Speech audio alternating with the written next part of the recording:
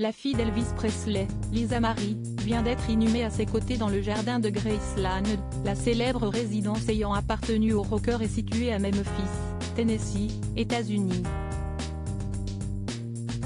Elle y repose désormais en paix, alors que ses grands-parents Vernon et Gladys ainsi que son fils Benjamin Quillot sont également enterrés sur ce lieu. A noter qu'un service commémoratif public sera organisé à 9h le dimanche 22 janvier en l'honneur de la défunte chanteuse, pouvait-on lire il y a quelques jours dans un communiqué relayé par les responsables de Graceland. Pour rappel, la célèbre interprète d'Idiot est morte jeudi 12 janvier 2023, après avoir été victime d'un arrêt cardiaque.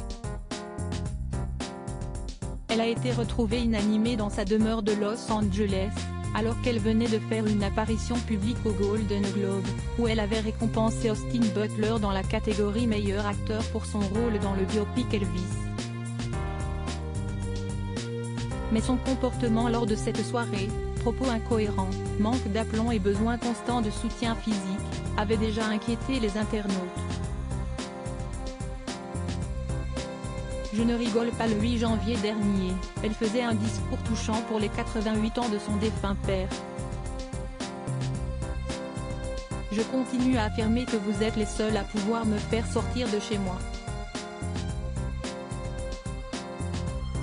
Je ne rigole pas. Je vous aime très fort et vous êtes la raison pour laquelle je suis là, avait-elle notamment déclaré, comme l'avait rapporté le Daily Mail.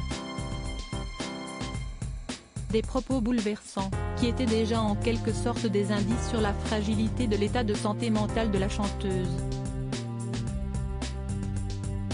Rappelons également qu'outre Benjamin, elle avait trois filles, à savoir Riley, aujourd'hui âgée de 33 ans, ainsi que les jumelles Harper et Finlay, nées le 7 octobre 2008 de sa relation avec le guitariste Michael Lecoud. Messi est Danny le père des deux premiers enfants de Lisa Marie Presley, qui a élevé les jumelles. Ce qui signifie donc qu'une âpre bataille pour leur garde semble désormais s'engager, comme l'a récemment révélé TMZ.